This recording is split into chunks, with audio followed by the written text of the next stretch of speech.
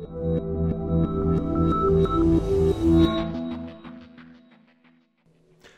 everybody, I'm Dave Hecker, and today we've got Dan Norris, uh, founder of WP Curve. WP Curve is a service that provides WordPress support uh, and maintenance uh, at a low monthly fee. Um, I've used the service myself, and it was an excellent service.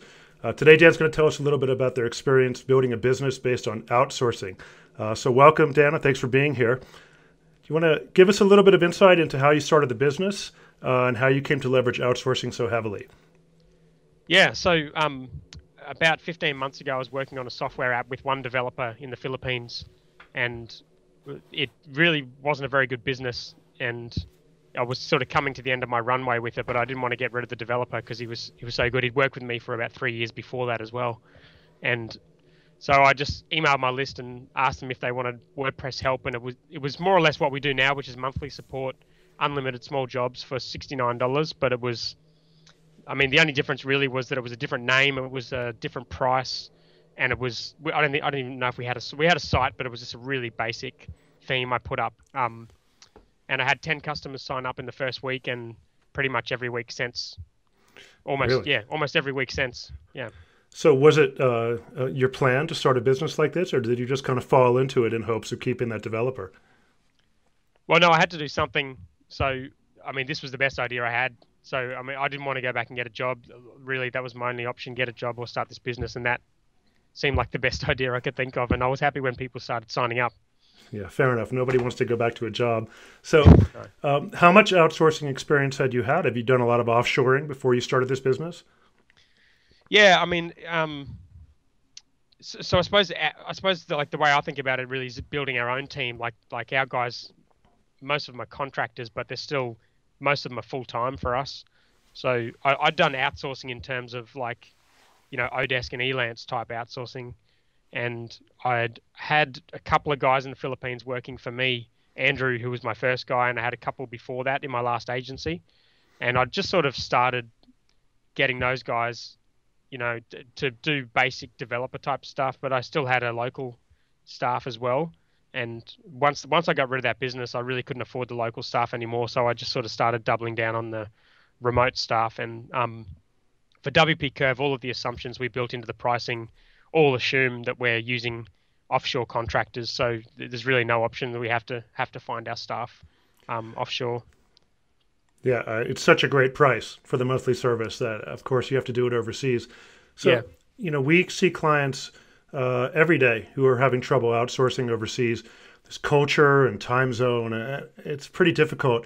So, why is it that you can do this and so many people can't? I mean, is there something that you've done that you feel like uh, really makes it work? Um, yeah, well, there's probably a few things we do. We we do some cultural type things in terms of like keeping the team happy. We do, we we do a lot of getting our staff to refer other staff, which keeps gets sort of people who are the same have the same mindset and have the same expectations and that kind of thing. I've got a, a huge process that I use. I've put it up on my site. It's about 5,000 words that we go through how we hire developers, how we test them, um, how we kind of onboard them. All of that stuff is all we've done it so many times. I think we're up to 23 people now in 15 months. So, and and that's only the people who are still with us. We've we've tried probably for each staff member we've tried maybe 10 that haven't. So we've probably trialed 200 odd people more so we've kind of gotten those procedures really pretty pretty good, and to the point where the team does most of it and then makes a recommendation at the end. Excellent. Yeah. So you've you've I mean to have your uh, uh, your hiring procedures so well documented because I read that post and it was excellent. Um, and then even then, uh, if you're accepting one in ten, it sounds like you're I mean starting off on the right foot by being very selective. Um, what brought you to the Philippines as opposed to uh, uh, India and all the other places? I had lots of bad experiences in India with my past company building apps and things, and I, that that sort of at the time that was the the kind of the done thing to to get developers in India, um, and I just had lots of bad experiences, so that led me to looking elsewhere, and I started looking at a lot of content around outsourcing to the Philippines. I started looking at some, I think it was John Jonas was writing about at the time. This is years ago. Um, and Chris Ducker, guys like that, Dan Andrews, they were sort of starting to write about hiring developers and virtual assistants in the Philippines.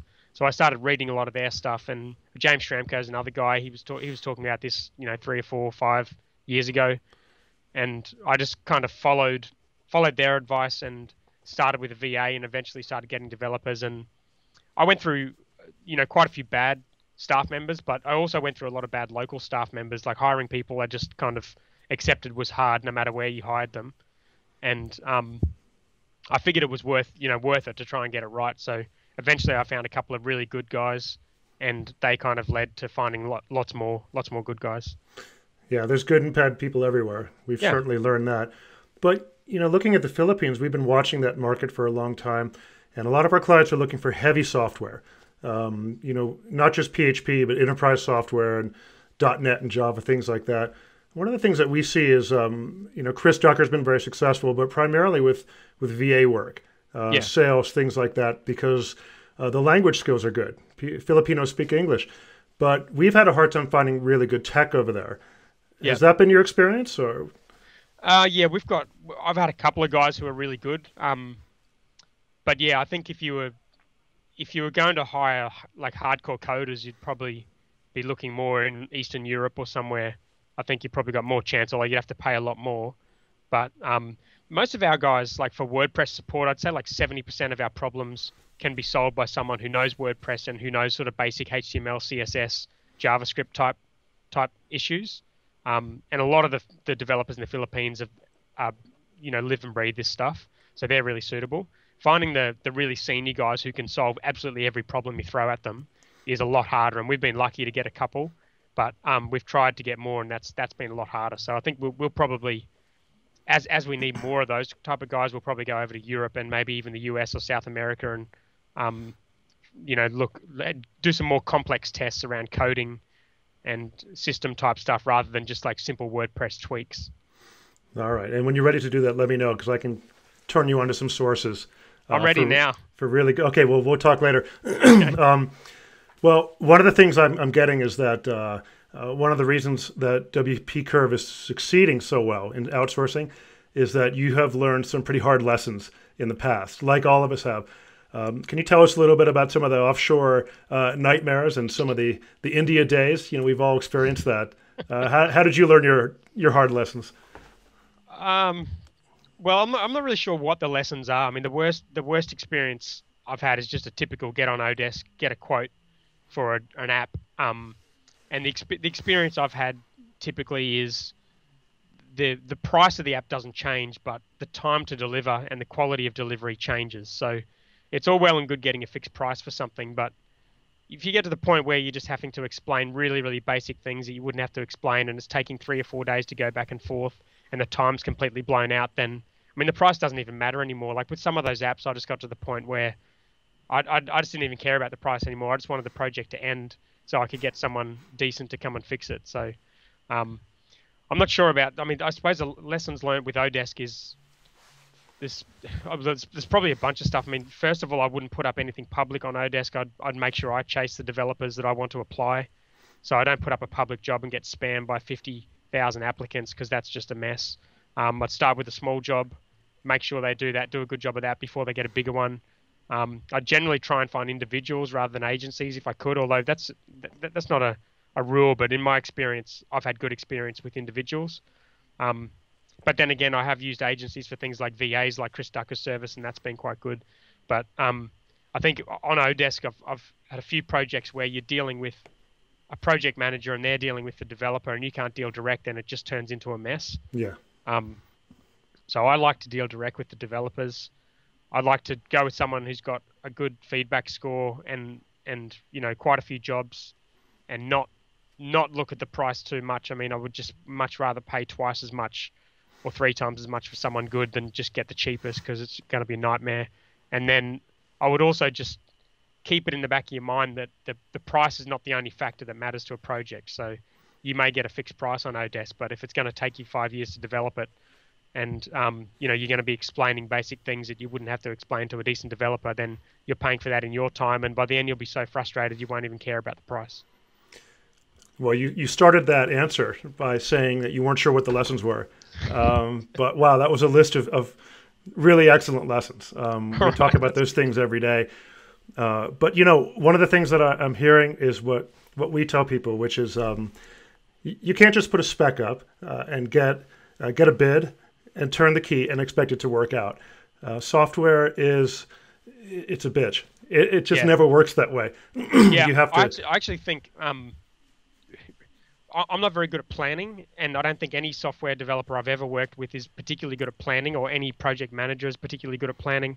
And I think it's all well and good to say this is what we're going to build and this is the fixed price, but in reality, software projects for me very very rarely work like that, and you're better off finding a developer who you can work hourly with, get to the point where you trust them and you can work hourly for a reasonable wage, reasonable for them, and then you can just work on something and build it the way you want to. Um, which has a lot more risk to do it if you don't trust that person. But if you can get to that point where you trust the person, you just pay them a reasonable amount of money, then you can build something that's quality rather than just focusing on the price and trying to do a fixed, a fixed price and fixed term project. Absolutely, it's a great message. Um, uh, rather than just throwing something up and taking the first developer that comes along, uh, you got to dig in. You've got to work really hard to find the right people and support it. And uh, fixed bid is, I've seen it work well, but not very often. And when it does work well, uh, it's an expensive proposition for the client. So it's a yeah. very odd thing. Uh, we tell me a little bit about your uh, your tools and your setup, um, source code and um, how do you back all this stuff up, and what, what's your kind of uh, tools infrastructure look like over there? Yeah, we don't have um, like developer tools as such because most of our guys are just sort of in people's websites working on working on WordPress problems. We have a bunch of things. We've got our own system for managing client and client details that we've built ourselves, and the reason we've done that is because we've sort of set it up in a way where if there's an open job with a client, then those details will become available to that developer only when that job is open. So our developers can't go in and just access a whole, you know, all of our client data like you can with an agency or something like that. Um, so we've got that system. We've got a, a, communication tool called Slack, which we use for kind of, kind of replaces email and live chat. Um, and we've got Google Docs for procedures, processes. Um, we use Jing just for quick little videos. So if I, if I do a Google Doc for a process, I'll you know, write out a process, use Jing for like a little screencast video, put that in there. Um, often use a tool called Skitch, which is a screenshot tool where you can mark it up with arrows and lines and stuff like that, um, and then just drag it over into Slack to, to give people to show people the screenshot of that, and um, which which is PayPal to pay staff, so nothing fancy there. Uh, we use spreadsheets for managing like the hours of staff, things like that. Um, and we use Help Scout as a back end sort of support desk that our customers don't see. They just send emails, but we use Help Scout to manage the tickets.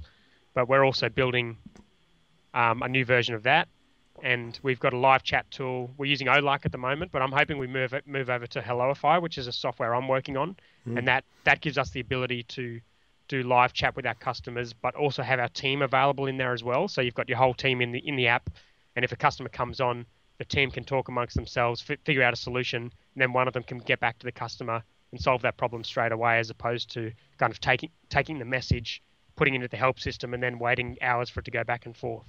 So right. yeah, that's about. I think that's about it. That's about five different tools we use. Yeah, but it's it's fairly lean. I think. I mean, that's a uh, a nice minimalist approach to tools, which I always love. Um, but it makes me think: Is it going to scale well? Like, uh, what are your plans for the next? Uh, two or three years? I know you're growing like crazy. Where where do you expect to be soon, and can you support it with the current model? Yeah, I think we we um we're going to hit some roadblocks. We already are hitting roadblocks with Help Scout because that the typical sort of support desk doesn't really work for our business that well because our business is sort of not just support; it's sort of it's almost like little mini projects. Yeah. So we kind of need something in between, uh, you know, a help desk and a project management system. And that's something I think we're going to build ourselves. We're starting to work on something, and it's going to. There's a lot of intricacies about how our business works that doesn't really get captured in project management systems. Um, at the moment, actually, I didn't mention Infusionsoft. We also use Infusionsoft for a lot of the automation and automating jobs and things like that, and sequences for customers, and it's all getting quite complicated. So, I think we're up to 550 customers right now and we, we wanted to get to a thousand customers by June next year, which will be our second birthday. And by the time we get there, we'll need to have, I think, our own system that manages most of it, specifically the way we want it managed. And when you develop something custom for your own use, are you using your own developers uh, that are on the bench, or how do you get that done? Yeah, well, that's something we're dealing with at the moment. So I think we, um, I think I'll, we'll probably hire a couple of senior developers who can be both the the role that Andrew plays now, which is like whenever anyone else can't solve a problem, he solves it. Right. We'll get a couple more of those guys, probably, um, maybe over in Europe somewhere, so they can also be available for customer support for WP Curve. But then they can also work on the the proactive projects. So at the moment, Andrew's working on me, uh, sorry, working with me on it, but he doesn't really have the availability, so we're going to have to hire again. Okay. Um, you mentioned Infusionsoft, which leads me to the last question, which really has nothing to do with outsourcing, but um, you know we're learning all about content management, uh, content uh, marketing. Sorry, at SourceSeek, and wow, you are a content uh, machine. Um, I've seen you referred to as a as a beast. Uh, you're certainly very prolific. Uh, so my question to you is, um, I've been doing a lot of videos, interviews, uh, blogging. How do you create so much content? I think I saw you mention once you do 15 pieces a month. Now, I've, today I learned you've got two kids. How, how is it possible? What are you doing? How do you get so much content out the door? Well, I haven't really been hitting those goals lately. I did hit. I, I can I can work really quickly. So I, when I flew from the Gold Coast to Singapore recently, it was about six and a half hours of flight time, and I managed to write twelve thousand words for a new book I'm I'm working on. Wow. Um, so I can type quickly and I can work quickly when when I know what I'm kind of creating. Um, so that's one that's one thing. I've got lots and lots of ideas because we've got lots of inputs for ideas. Like we've got a Trello spreadsheet. People are sending us stuff all the time. We've got a really good audience that replies to my weekly email.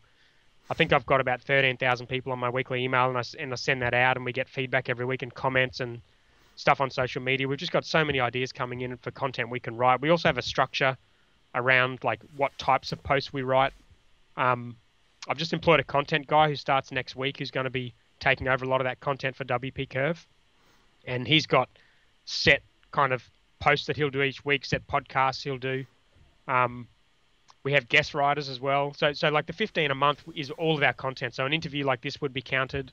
I do maybe three or four of these a week.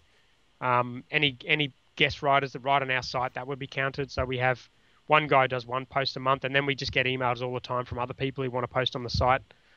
So this, I mean, this yeah, this we, we could do we could do 15 a month. That'd be that'd be a good result. I think we could probably do a lot more if I didn't have any other work to do. Right. But um, yeah, I find well, it quite easy. It's, it's I mean it's like anything. If it's something you enjoy and it's something you're reasonably good at, it's it's kind of easy. Well, we've learned a lot from your posts uh, related to content marketing. Do you think it's possible to outsource any piece of it? Um, I know the actual creation of the content; it's really difficult to outsource that. What about the yeah. the Infusionsoft operating the the list um, and all these things? Are, are there what pieces would you recommend trying to trying to outsource? Well, there's a few things we've done there. One is we outsource the pr- promotion of the content. So our our virtual assistant, um, for lack of a better word, uh, Ness, who's who's just sort of our gen- general awesome person who does everything. Um, she does all the promotion. So we'll do it. We'll do our content. We'll write a one-page Google Doc, fill in a bunch of fields about where we want it posted, um, what you know, what image we want created for social media, what social media channels we put it on, what sites do we submit it to, all that kind of stuff, and that's all proceduralized. Is that even a word? Proceduralized? I liked it. Yeah. It Should be. Yeah. Um, so she does all of that. Um, I've also just employed Kyle, who's going to be actually taking over our content and even hosting our podcast. So that's going to be an interesting experiment to see if that kind of thing works. I haven't really seen that done too much elsewhere. Um, I've been trying to find a bunch of guest writers as well, and I haven't had a lot of success with that. That's been really difficult. So, I I don't know what the answer is to that. I think uh, actually I had a good conversation with a guy who runs a a, a multi-million dollar business based around uh, how do I describe it? It, it? It's a business that really wouldn't exist without content, but it's not a content business. Sort of like ours. It's just just creating a bunch of content on his site, and that drives leads to his business. Um, and he employs journalists to do all the content. He employs them directly. They're Australians. He pays them a lot of money. Really? I think he's got five or six journalists. Um, and he tried everything he could to try and create good content, and he couldn't get it done any other way. So, I know that's an interesting option. definitely one we've considered as well is hiring people here and just training them up in how how we go about creating content. Yeah. Um, but yeah, the guest posts typically don't do that well for us unless they're really specialized, and that takes a lot of organization. Um, but yeah, we're still we're still trying to figure out. and lot of you, that you've stuff. developed a really good ed- editorial tone and a voice that you've made your own. It's going to be hard to replicate that, but Yeah. uh, I, I think it's that, but it's also like, I mean, there's so, some sort of content appeals in different ways. Like, um, like like our audience is used to really highly actionable, practical stuff, like lists. Like this is what I should do. This is an example of what another company did. Here's a download to use it to implement it in your business. That kind of stuff. Um, whereas there's other blogs out there that are just kind of interesting, or they're entertaining, or they're I don't know whatever. They're just kind of watch me as I as I do this. So I think it depends a lot on your audience and what they're used to and what they like. And in our case, it's kind of hard for us to get someone to create that style of content. Um, whereas I don't know if you're starting from scratch, I think there's probably more ways you could do it. Or if you had a slightly different, less demanding audience, and also if you're in a space that was less demanding, like I've got a, a brewing business I'm working on, and all the content I do for that, all I do is just like document what we do on the brew days, and you know this is this is what we do. This is where we added the beer. This is like this is something that happened unexpected. This is the labels we came up with. All that like really really basic stuff. If I did that at WP Curve, that'd just be a flop. But in that business, that people absolutely love them. yeah, Um, and that'd be very so- popular here in, in Colorado, where people are crazy for beer. Yeah, yeah. All so right. I think it, it depends a lot on your like on the the s- level of sophistication of your market. I think as well. Like if you're in online marketing, you can't get away with anything like that. But if it's a market where they're really new to content marketing, you can you can just take the really basic approach of just documenting what you do, and people that'll be a lot better than everyone else is doing. It'll get a lot of attention. Very interesting. Let me ask you one last question. Um, this question is kind of for me.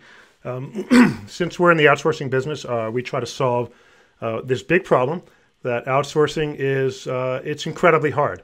Um, you're somebody who's done pretty well at it. I think th- one of the main reasons is that you you know that it's hard and you invest a huge amount of energy and time into making it work. If there was one problem that you could think of uh, that you'd love to see solved by a service or a business related to outsourcing, what, what problem could we solve for you in the outsourcing world? Uh, hiring affordable developers in the U.S. time zone. Really? That's a pretty big problem. Um, Yeah. So, yeah, that's something we haven't had any success with. We've got a couple of guys, um, and this is something we're going to have to, we're really going to have to focus on now. It re- it's been it's been really hard, and um, if someone could solve that, that would make me very happy. well, uh, the U.S. time zone uh, ranges all the way down to uh, Costa Rica, Yep, Argentina. Costa Rica is where our, our current guy is. Okay. Yeah. There's a lot of great opportunity down there. Uh, so uh, we should talk soon about that. Definitely. But in the meantime, thank you very much for your time. I really appreciate it. Congratulations on your success. And uh, I talk to outsourcers all the time, and clearly you've learned all the lessons. Um, and you summed it up really well. Uh, and I'm, I'm very pleased to see all the success, and I wish you more. So we'll talk soon. Awesome. Thank you. Well, well done on creating the videos too. I think this will be really useful for people.